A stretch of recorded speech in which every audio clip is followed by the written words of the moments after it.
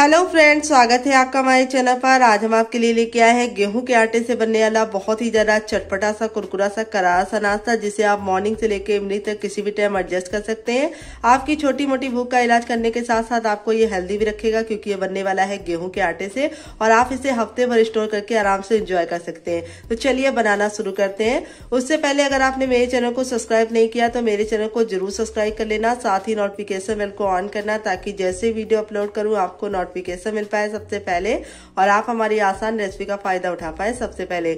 यहाँ पे मैंने लिया है गेहूँ का आटा, जो वेट ने हमारा 150 ग्राम है। ये वही आटा है जिससे हम लोग रोटी बनाते हैं, चपाती बनाते हैं। यहाँ पे आपको इसे छान कर ही लेना है। आप चाहे तो मैदे का भी इस्तेमाल कर सकते हैं, लेकिन अगर आप हेल्दी खाना चाहते हैं तो आप इसे सौ मेरी तरह गेहूँ के आटे से बनाएँगे तो काफ़ी ज़्यादा फ़ायदेमंद होगा। तो यहाँ पे देखिए, आटे को मैंने छान लिया है तो अब चलिए बनाना शुरू करते हैं फटाफट। तो यहाँ पे एक कटोरी आटे को हम बड़े वाले मिक्सी के जार में ट्रांसफ़र करेंगे। तो इस नाश्ते को चटपटा बनाने के लिए हम इसमें डालेंगे एक बड़े साइज़ का आलू, जो कच्चा आलू होना चाहिए। तो यहाँ पे आलू को उबालने का कोई भी झंझट नहीं है। तो यहाँ पे देखिए पानी ले लेंगे और पानी के अंदर हम आलू को थोड़ा सा बड़े बड़े पीसेस में कट करके डालेंगे और दो से तीन पानी वॉश करने के बाद ऐड करेंगे। ऐसे नहीं ऐड करना है। ये देखिए थोड़ा सा रफली कट कर लेना, बहुत ज़्यादा बारीक कट करने की ज़रूरत नहीं है। और अब इसे हम दो से तीन पानी वॉश करने के बाद लेकर आते हैं। तो यहाँ पे देखिए आलू को मैंने तीन से चार पानी अच्छे से वॉश कर दिया है। अब सिर्फ़ हम आलू आलू डालेंगे, पानी नहीं डालेंगे, क्योंकि आलू में इतना पानी होता है कि ये खुद ही अपने आप पिस जाएगा। और अब इसके अंदर क्या डालना है आपको बताते हैं। तो यहाँ पे देखिए डेढ़ इंच का अदरक लिया, इसको हम थोड़ा सा इस तरह से मोटा मोटा कट करके डालेंगे, इससे इसको पीसने में आसानी होगी। अब इसके बाद हम इसमें डालेंगे टेस्ट के अकॉर्डिंग नमक। तो यहाँ पे मैं एक छोटा चम्मच ऐड कर रही हूँ। अपने टेस्ट के अकॉर्डिंग ऐड करना। चौथाई चम्मच हम ऐड करेंगे शुगर जिसको चीनी भी बोलते हैं, शक्कर भी बोलते हैं। अगर इसका कोई नया नाम हो तो कमेंट बॉक्स में ज़रूर बताना। इससे बहुत ही अच्छा लुक आएगा और टेस्ट भी अच्छा आएगा। मीठा बिल्कुल भी नहीं होगा तो घबराने की ज़रूरत नहीं है। सिर्फ़ हाफ़ टी स्पून तक हमें इसके अंदर शुगर ऐड करनी है। अब इसमें हम थोड़े से कड़ी पत्ते ऐड करेंगे, जिसको मीठी भी बोलते हैं। इससे बहुत ही अच्छा टेस्ट आएगा। अब इसके बाद हम इसमें डालेंगे दो ग्रीन चिली। अगर आप लोग ज़्यादा स्पाइसी नहीं खाते तो आप सिर्फ़ एक ही डालना। लेकिन अगर थोड़ा सा स्पाइसी खाते हैं तो दो तो यहाँ पे देखिए मैंने दो ग्रीन चिली तोड़कर डाल दिया है। अब बिना पानी डाले हम इसको अच्छे से पीस लेंगे। तो पानी डालने की ज़रूरत इसलिए नहीं, क्योंकि हमारा इसके अंदर आलू है। अगर आपको लगे कि आपका नहीं पिस रहा है तो आप इसमें दही डाल सकते हैं। पानी का इस्तेमाल मत करना। तो चलिए इसको पीस के लेके आते हैं, फिर आपको दिखाते हैं।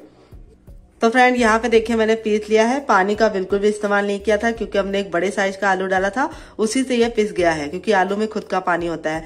अगर आपको दिक्कत हो तो आप इसमें दही डाल सकते हैं या फिर छाछ डाल सकते हैं या फिर दूध डाल सकते हैं। पानी का इस्तेमाल मत करना इसको पीसने के लिए। इससे आपका नाश्ता काफ़ी ज़्यादा कुरकुरा और क्रिस्पी बनेगा। तो चलिए इसको हम साइड में रख देते हैं, आगे का काम करते हैं। तो फ्रेंड आगे गैस की तरफ़ एक पैन लिया है, आप कोई भी बर्तन ले सकते हैं। थोड़ा सा भारी लीजिए, अब इसमें हम डालेंगे वन टेबल स्पून तक ऑयल ऑयल को अच्छे से गर्म कर लेंगे। तो यहाँ पे ऑयल को बिल्कुल अच्छे से गर्म करना ज़रूरी है।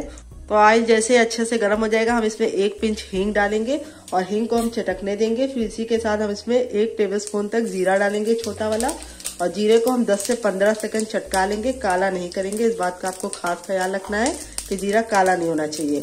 यहाँ पे हमने एक बड़े साइज़ की प्याज को मोटा मोटा कट कर लिया, इसको डाल देंगे। तो यहाँ पे प्याज को आपको पतला नहीं कट करना है। तो प्याज को हम धीमी धीमी आँच पर अच्छे से गोल्डन ब्राउन करेंगे, काला नहीं करेंगे। तो यहाँ पे देखिए, प्याज हमारी अच्छे से गोल्डन ब्राउन होने लगी है। अब इस स्टेज पे हम इसमें डालेंगे टमाटर, जो लाल होना चाहिए, जूसी होना चाहिए। ना आपको इसके बीज निकालने, ना ही जूस निकालना है। तो टमाटर डाल के हम टमाटर को हल्का सा सॉफ्ट होने तक पकाएँगे। इसके लिए हम थोड़ा सा नमक डालेंगे इसके अंदर। तो थोड़ा सा नमक डालने से टमाटर हमारे फटाफट गल जाएँगे। और कम टाइम लगेगा और गैस की बचत हो जाएगी। तो यहाँ पे कंटिन्यू चलाते हुए हमें खुले में टमाटर को पकाना है कवर नहीं करना है। तो यहाँ पे देखिए, एक मिनट का टाइम हो गया है। टमाटर हमारे हल्के हल्के से सॉफ्ट होने लगे हैं और प्याज भी हमारी अच्छे से सॉफ्ट होना शुरू हो गई है। अब इस स्टेज पे हम इसमें डालेंगे लहसुन की कलियाँ जो हमने पाँच डाली हैं। अगर आप लहसुन नहीं खाते तो आप इसको हटा सकते हैं।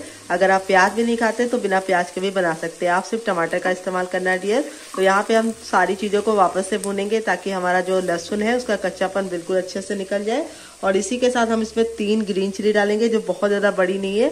अगर आप लोग ज़्यादा स्पाइसी नहीं खाते तो आप सिर्फ़ दो डालना। तो यहाँ पे ग्रीन चिली को भी हम इन्हीं सभी चीज़ों के साथ मिलाकर भूनेंगे ताकि अच्छा सा टेस्ट निकल कर आए।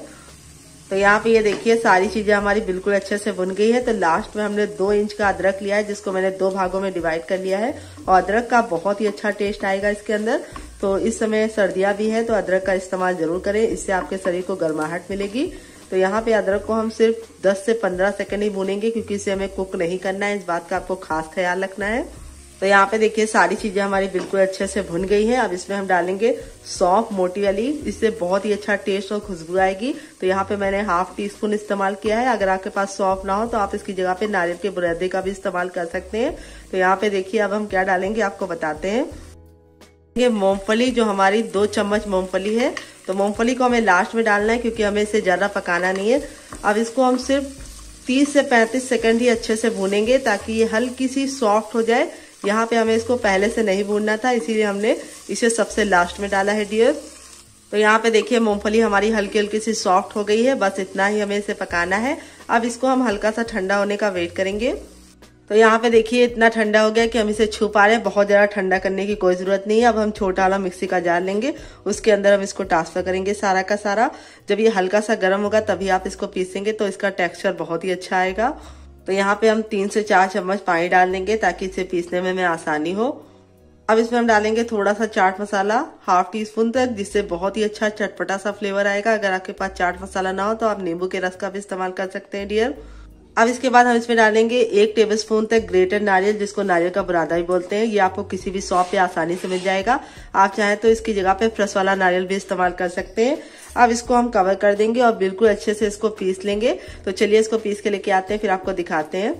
तो यहाँ पे देखिए मैंने इसको अच्छे से पीस लिया है। चलिए आपको दिखाते हैं, ज़्यादा पानी का इस्तेमाल नहीं किया है और इस तरीके से इसका टेक्सचर होना चाहिए।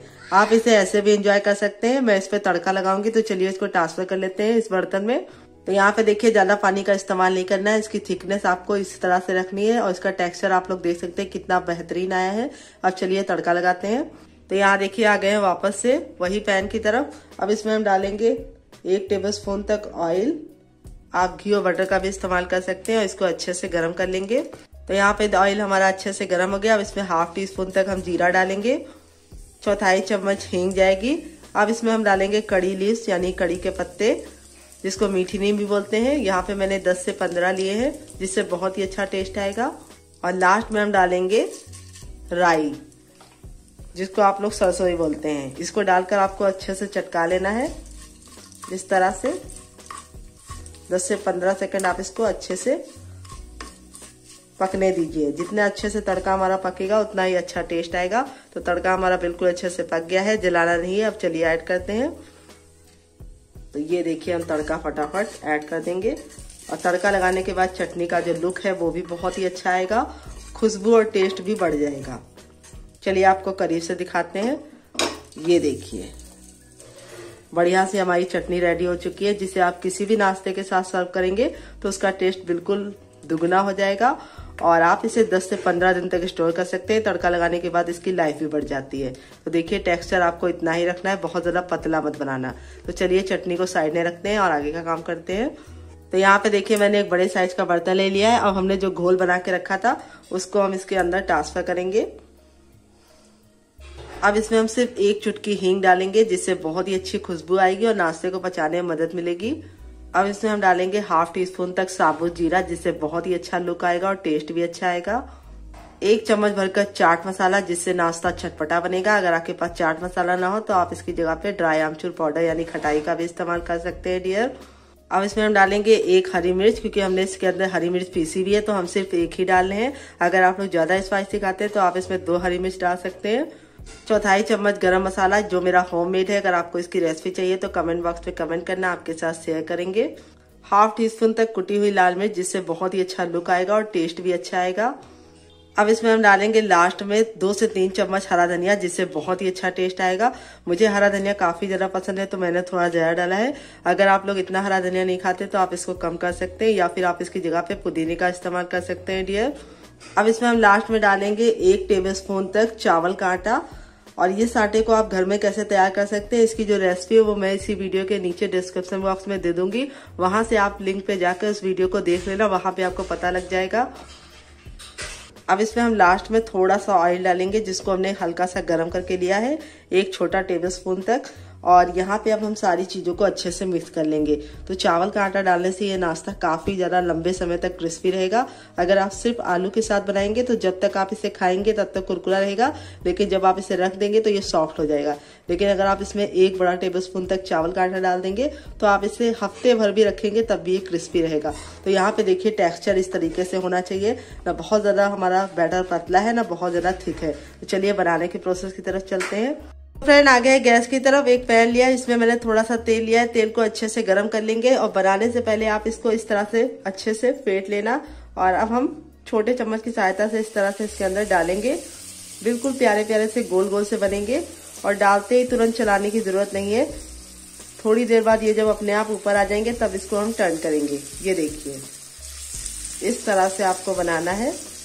आप इसे जिस साइज़ में बनाना चाहे बना सकते हैं। तो छोटे छोटे बनाएँगे तो ये काफ़ी अच्छे से क्यूट क्यूट से लगेंगे।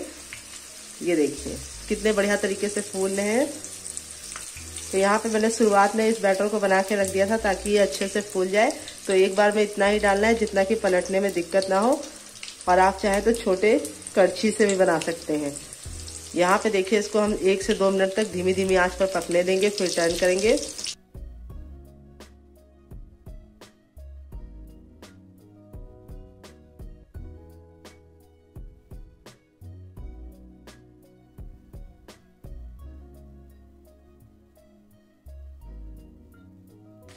तो यहाँ पे देखिए दो मिनट हो चुका है। टोटल आपको चार मिनट का टाइम लगेगा इसे पकाने में। और ये देखिए, कितना बढ़िया तरीके से हमारा ये क्रिस्पी बन गया है। अब इसको आप इस तरह से रखना ताकि थोड़ा सा एक्स्ट्रा तेल है वो वापस चला जाए। और अब आप इसको रख दीजिए। ये देखिए, कितना बेहतरीन इसका रिज़ल्ट आया है। दोबारा बनाने के तेल को फिर से गर्म करेंगे। तो यहाँ पे देखिए तेल गर्म हो चुका है। अब मैं आपको बता रही हूँ फिर से इसको बैटर को आप फेंट लीजिए और तेल को अच्छे से गर्म करने के बाद इस तरह से बिल्कुल आराम से डालिए, कोई भी जल्दबाजी नहीं है। ये देखिए, आराम से डालेंगे तो अच्छा सा सेप आएगा और नीचे से जाके डालना, बिल्कुल करीब से। लेकिन हाथ मत अंदर डाल देना, ये देखिए, इस तरीके से। थोड़ा सा दूरी दूरी पे डालना ताकि चिपके ना। और अब इसको हम पहले वाले की तरह बना लेते, फिर आपसे फ्रेंड बनकर रेडी हो चुका है। हमारा चटपटा सा, कुरकुरा सा करारा सा नाश्ता देख लीजिए। इसका फाइनल रिज़ल्ट कितना ज़्यादा खूबसूरत लग रहा है। जितना ज़्यादा देखने में खूबसूरत लग रहा है, खाने में से ज़्यादा टेस्टी है। चलिए आपको करीब से दिखा देते हैं। ये देखिए, कितना बढ़िया तरीके से जालीदार बना है, क्योंकि हमने इसको रेस्ट का टाइम दिया था। ये देखिए, देख रहे कितना क्रिस्पी और सारे ही हमारे क्रिस्पी बने हैं। तो क्रिस्पी है तो इसका मतलब ये नहीं कि अंदर से हार्ड है, इसे बुज़ुर्ग नहीं खा पाएँगे, अंदर से बिल्कुल सॉफ्ट है, जालीदार, ये देखिए। और इस चटनी के साथ जब आप इसे खाएँगे तो आपको मज़ा ही आ जाएगा।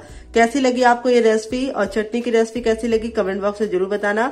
रेसिपी में कुछ भी अच्छा लगे तो वीडियो को लाइक कर देना शेयर कर देना। अगर आप हमारे चैनल पर नए हैं तो हमारे चैनल को ज़रूर सब्सक्राइब करना। साथ ही नोटिफिकेशन बेल को ऑन करना ताकि जैसे वीडियो अपलोड करूँ, आपको नोटिफिकेशन मिल पाए सबसे पहले और आप हमारी आसान रेसिपी का फ़ायदा उठा पाए सबसे पहले। तो आप इस रेसिपी को कब बना रहे हैं? आप इसे केचप के साथ दिखा सकते हैं, चाय के साथ दिखा सकते हैं और पूरे आप इसे हफ्तों स्टोर कर सकते हैं। तो देख लीजिए सारे रिज़ल्ट ऐसे ही होंगे और यहाँ पे ये सॉफ्ट होने वाले नहीं आप इसे जितने दिन भी रखेंगे, ऐसे ही रहेंगे।